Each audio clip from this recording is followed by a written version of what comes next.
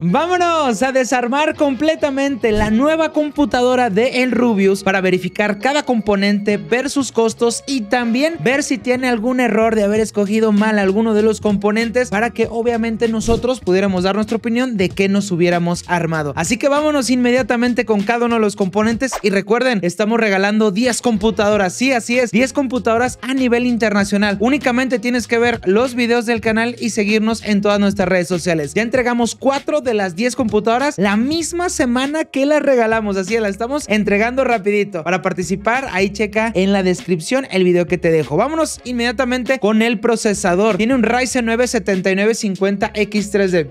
Chulada. Este procesador lo tengo actualmente en mi computadora. Por lo tanto, podemos verificar que este sí es una verdadera joyita. Aunque resulta ser que ya salieron los nuevos 9950X. Aquí algo curioso. Este sigue siendo una verdadera joyita porque los nuevos 99 950X vienen más caros y no traen mucha diferencia de rendimiento. Eso sí, tienen una diferencia de rendimiento más marcada en la productividad. Así es, en programas de diseño, diseño de 3D o de edición de video. Ahí los nuevos 9950X sí vienen algo diferente o algo más marcados diferentes. Porque en videojuegos son casi, casi lo mismo que el 7950X3D, si no es más que lo mismo totalmente. Por eso AMD acaba de lanzar los nuevos 9950X3D al mercado. Sí, los 9950X3D, sí, acaban de salir los otros y ya lanzaron unos nuevos. Es una barbaridad esto que está haciendo AMD, pero lo está haciendo por los mismos problemas que está teniendo en el mercado de que no se están vendiendo sus procesadores. Todo esto siempre te lo digo en las noticias que subo los lunes en este canal para que estés bien enterado de todo lo que hacemos. Ahora, estamos hablando de que este procesador lo pusieron con un disipador líquido, uno de 360 milímetros, que es el Link H150i LCD de la marca Corsair. Sí, Forzosamente necesitamos un disipador líquido de 360 milímetros, por lo tanto hicieron algo muy,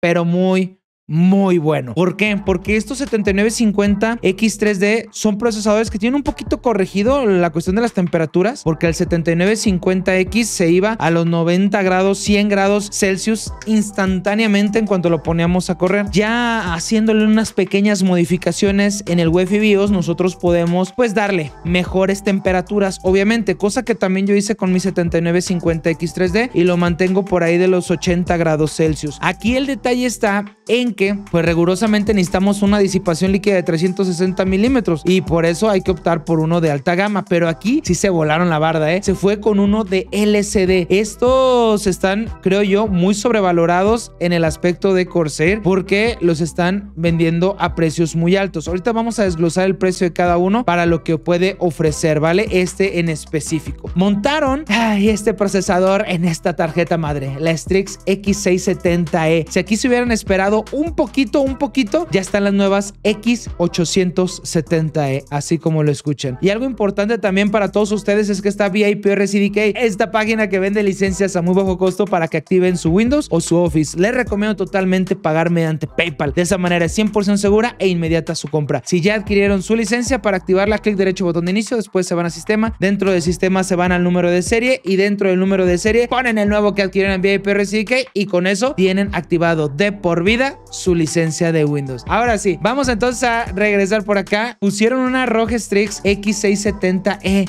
a Gaming Wi-Fi. Está muy bien va a ir muy pero muy bien con este procesador porque salió a la par. Así es, salió el 7950X3D con estas nuevas tarjetas madre. Bueno, de hecho estas tarjetas madre vienen también con los, con los procesadores 8000, 9000 y todos perfectamente, ¿ok? No tienen problema.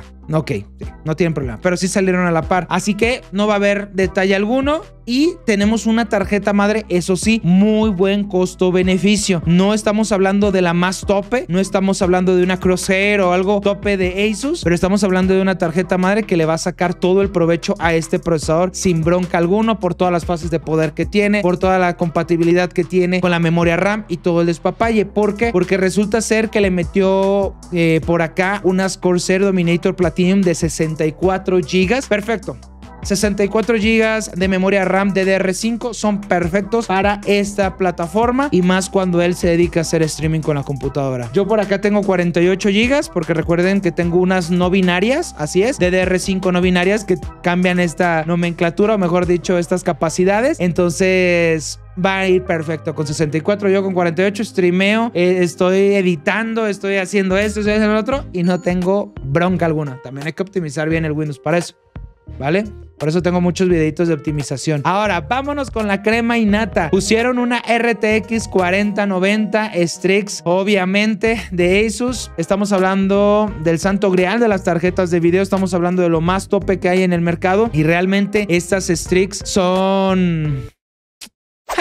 Pues de lo mejorcito que nosotros tenemos en 4090. De lo más rápido, de lo más fresco, cero complicaciones. Por lo tanto, aquí no hay ni pío que decir porque estamos también ante la tarjeta de video más rápida que hay en el mercado. Ya acabamos de hablar un poquito de las RTX 5090 y de las 5080 que se vienen para principios de 2025. Así que en este momento no hay otra cosa más pesada que una 4090 hasta que salgan estas nuevas series 50. Por lo tanto, estamos hablando de una verdadera joyita, una verdadera joyita que tiene 24 GB GDR6X, perfecto para todos los videojuegos loquísimos que luego se están poniendo, que quieren 12 GB, que quieren 14 GB de, de tarjeta de video y se me hace una verdadera barbaridad, pero esta no tiene complicaciones en lo absoluto. Y la disipación y todo, miren que estamos viendo aquí en pantalla, una verdadera chulada. Para alimentar procesador y tarjeta de video mínimo, mínimo, estamos nosotros con una fuente de poder de 1000 watts. ¿Por qué digo mínimo? No porque la tarjeta de video andaría necesitando ahí 800 watts, 700 watts. No, estamos hablando sobre los 450 y 500 watts la pura tarjeta de video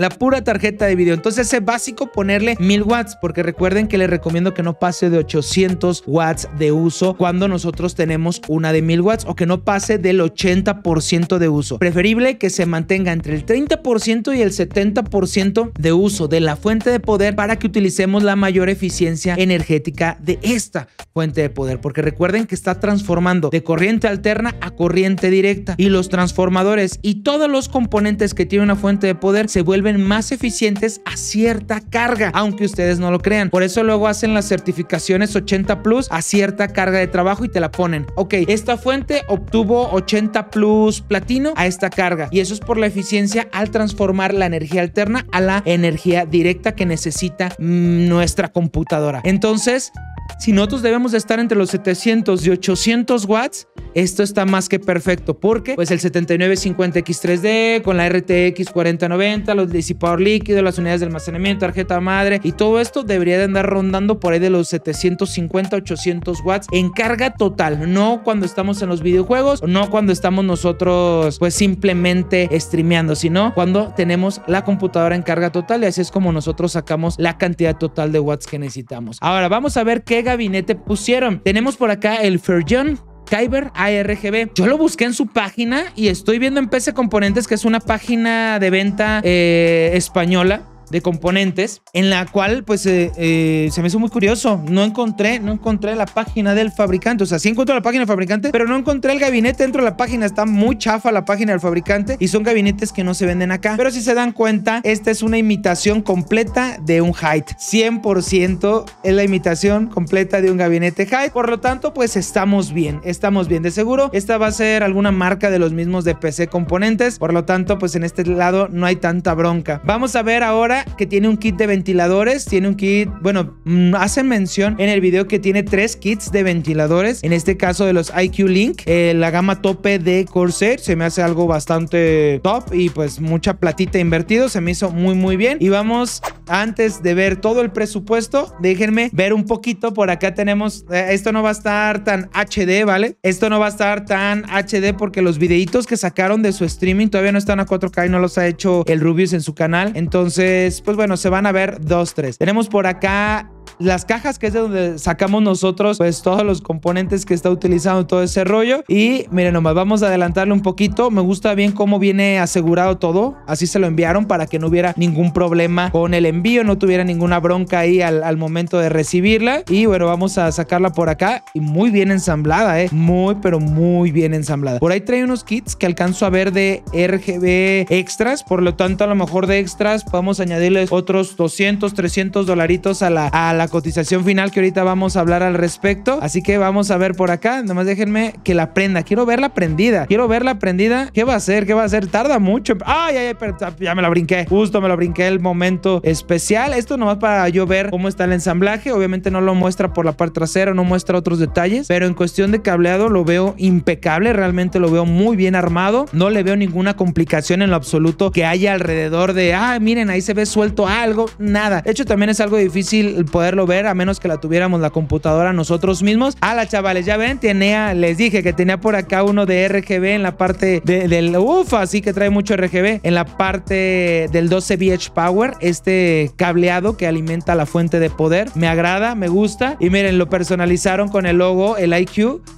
con el logo de El Rubius, obviamente. Ahí nos está mostrando detalles, se ve muy bien. Pusieron tres ventiladores metiendo tres ventiladores, perdón, son dos ventiladores. Entonces los kits, más bien son dos kits de 140 milímetros, perdón, dos ventiladores de 140 milímetros, tres ventiladores de 120 milímetros, estos son de 140, otro de 120 y los del disipador. Entonces solamente tiene dos kits de ventiladores, ¿vale? Dos kits de ventiladores independientes a lo que trae el gabinete. Se ve bastante, bastante bien. Me parece perfecto.